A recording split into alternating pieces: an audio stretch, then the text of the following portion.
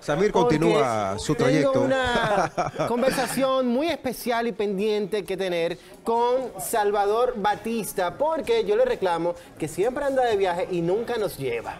Nunca nos lleva solamente de que reportaje, atento a eso. No podemos estar en eso, no solamente de video se vive. Samir, no diga eso, no diga eso. Mira, estamos en un barrio popular, precisamente Ajá. de la República Dominicana. Y señores, de aquí nos vamos a conocer Jordania. Un poco lejos. Es un poco lejos, pero vamos a conocer tres lugares específicamente, pero hay uno que llama la atención, porque está considerado dentro de las siete maravillas del mundo y ustedes lo van a ver en esta entrega especial de Recorriendo con Salvador para acá, El para menú de la mañana, evidentemente, aquí está.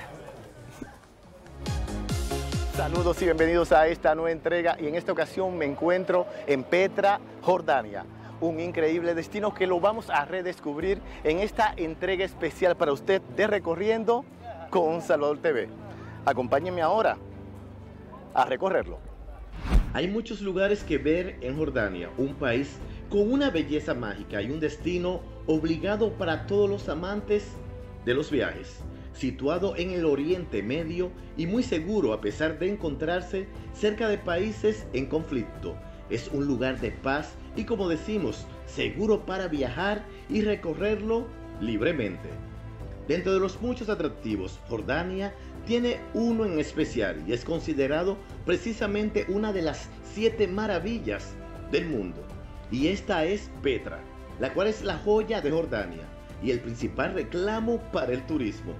Petra, la ciudad perdida de piedra y antigua capital de los nabateos, es uno de los lugares que ver en Jordania y sin duda uno de los más increíbles. Hace más de 2000 años esta ciudad, levantada en pleno desierto y rodeada de montañas rocosas, era una parada obligatoria en las rutas comerciales. Los ricos comerciantes invirtieron parte de su dinero en construir templos y tumbas excavadas en la roca. Pero con el paso del tiempo, las rutas se perdieron igual que la ciudad, que permaneció desaparecida del mundo durante muchos siglos.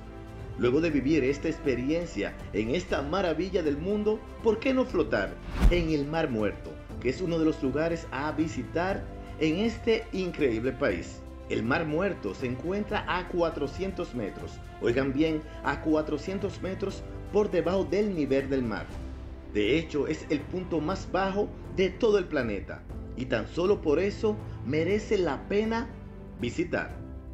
En Guadimusa puedes visitar el manantial de Moisés. Aquí estaba la roca donde Moisés golpeó y salió agua. En este pequeño pueblo Moisés y sus discípulos descansaron mientras seguían caminando buscando la tierra prometida.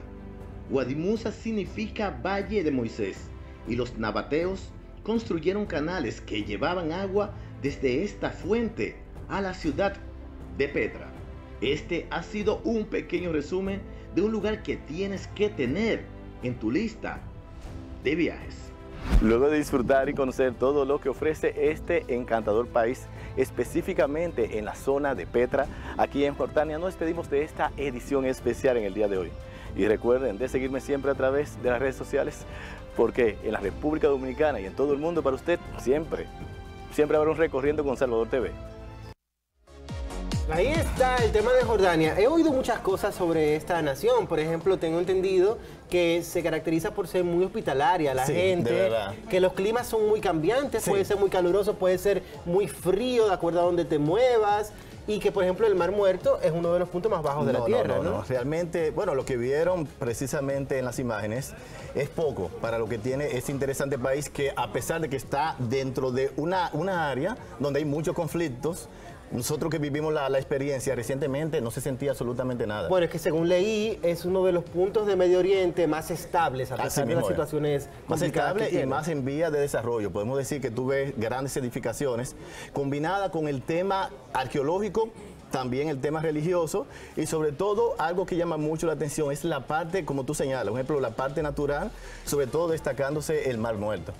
Samir, mira, antes de concluir, la próxima semana tendremos varias ediciones especiales. No me ya vamos a entrar en Navidad, señores. Vamos a conocer los mejores lugares a visitar en esta temporada navideña, dentro y fuera de la República Dominicana, pero también vamos a tener entrevistas exclusivas con personalidades donde ellas mismas van a pasar las Navidades, por ejemplo, artistas y figuras del arte y el espectáculo, nacional e internacional. Tendremos una edición especial muy interesante. ¿Dónde lo vas a pasar acá. tú? Eh, lo vamos a pasar por el canal, precisamente por aquí, por el canal 4, en el programa Recorriendo con Salvador y también una entrega, un resumito a través de los amigos para acá. Los amigos del Mangú de la Mañana van a ver esto y mucho más dentro de una o dos semanas. ¿Dónde vas a pasar tú las navidades? Fue lo que te pregunto. Eh, no, yo siempre la paso aquí en la República Dominicana. Sí. Ese es, ese es como el- la temporada de vacaciones. Ah, muy bien. Es decir, que me verán a partir de la semana que viene ya recorriendo diferentes puntos de la República Dominicana y haciendo ese contenido tan especial que se lo hacemos precisamente aquí para el Mangú y también para todo lo que tiene que ver mi plataforma de redes sociales